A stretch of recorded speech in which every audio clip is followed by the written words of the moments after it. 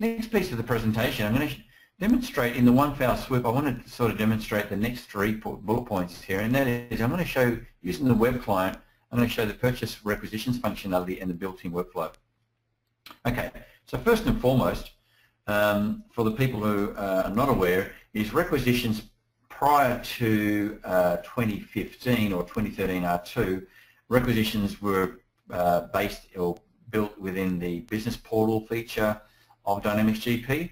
That's now been uh, deprecated, so that feature, the whole business portal has been deprecated, so it's no longer available. So in, especially in 2015, the uh, purchase requisitions functionality has now been moved into uh, Dynamics GP itself.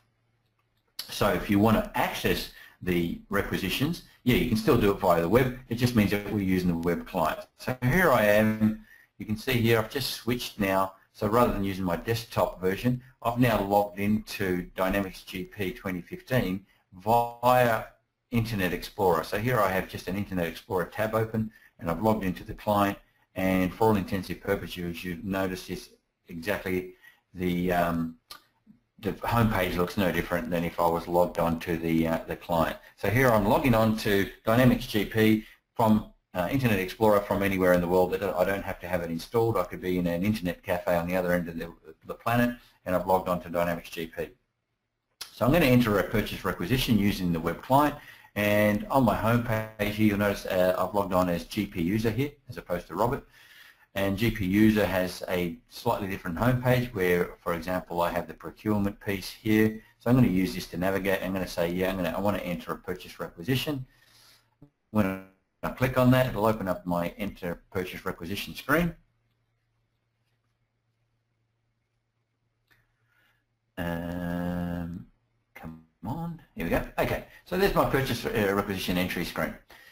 So I'm going to enter a new purchase requisition, give it a description. Uh, I'm going to purchase today, what am I going to purchase? Uh, a brand new motor vehicle is my favorite. Brand new motor vehicle.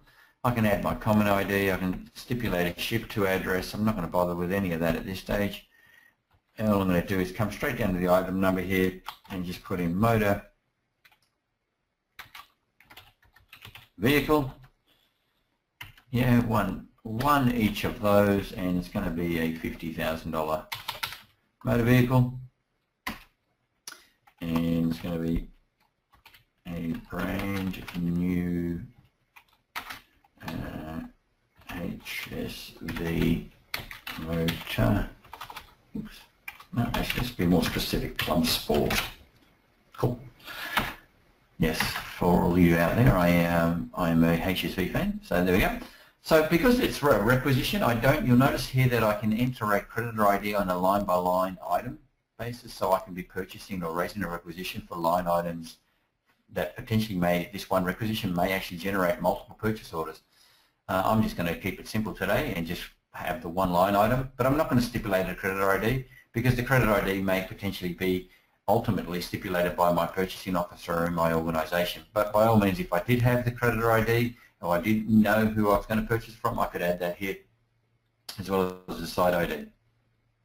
If I wanted to, I could also click on the attach button here and attach a copy of, say, for example, a quote that I may have, that I may have that I um, uh, I may have seeked in the, from the supplier in, the, in beforehand.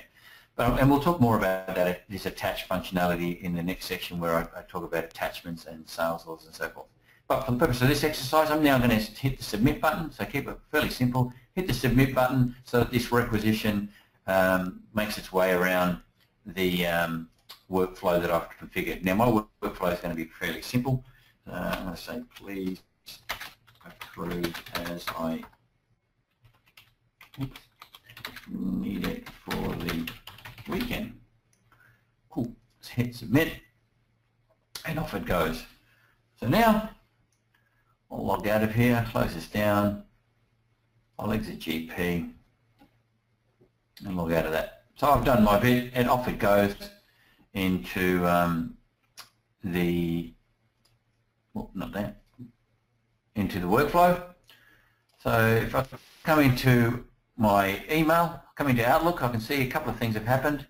I get a email now, being the approver here, I get an email saying, hey, have a look here, Mr. Approver, requisition 15 needs to be approved. So I can click on that hyperlink here with the requisition number, and when I do click on that, you'll notice in the background here, it's actually opened up that requisition so I can view that requisition and what's on that directly from the email that I received, yeah? So I can now view that, I can have a look at what, what you know, what's being requested and so forth and make a, decision on that. If I then want to approve that, what I can do is if I come into my email again, here, I can then click on one of these shortcuts here, so the uh, whole hyperlinks I should say, so the approve, reject or delegate one and approve directly from the email. So if, once again, if I'm out on the road or remote or not in the office and I want to be able to do this from my phone, from my tablet device, whilst I'm out on the road, I can now click on the approve button and you'll see here that when I do, simply all it's doing is opening up a little uh, portal in my, uh, using a, just a browser access and I can now hit the, put in a comment here and hit the approve button. So I'll say, sure, sounds like a nice car. And say hit approve. And I've, in effect, what I've done there is I've approved that requisition without even going into the application. So if I switch back now into the application and I open up that requisition, I'll just go to purchase requisition entry. Let's have a look at what's happened here. So here it is, requisition number 15. We could see that the uh, workflow bar that displays across the page here is now showing as completed. And I'm just going to click on the view uh, history here to have a look at the workflow. Now, of course, I've, I've created some fairly simple workflow to demonstrate the workflow functionality. In other words, the workflow I've set up on this particular requisition entry screen is purely just going to ask the um, uh, workflow to be approved if it uh, exceeds $1,000 and it just goes to one approver. So here we can see the original step that when the uh, requisition was first created with the comments that were entered, so please approve because I need it for the weekend, and then the approver and the approver's comments. Yep, sounds like a nice car. So we have all that workflow approval uh, history showing to us.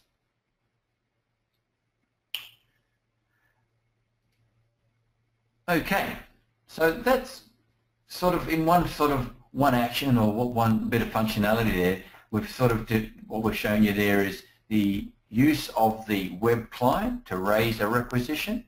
So with the new GP 2015, there's some new licensing, obviously, to move any users out there who are currently using uh, the, the business portal to raise requisitions. That's now obviously functionality is now being migrated to within GP, and there's obviously users that have been created within GP. Rather than be a full user, you can be a, a limited user who can raise requisitions. So speak to your uh, account manager about that if you if you need to do that. Um, okay, and yeah, so we've used a web client. We've uh, shown you the requisition, which is fairly the, the new functionality which has been migrated to within GP, and we've also showed the workflow. Now, I've shown you workflow today purely around the purchase requisition entry, but there's a whole host of workflows that are in the system. So there's workflow around purchase orders, workflow around requisitions, which I've shown you, workflow um, we actually have workflow in the next release, which is due next month. We have workflow around accounts payable invoices. There's workflow around GL, GL batches. There's already workflow around accounts payable batches um, and some are around, say, vendor and vendor approvals. So there's a whole host of workflows, and, can, and Microsoft just continues to add to that list of workflows um, as the product moves forward. So yeah, stay tuned to this uh, space.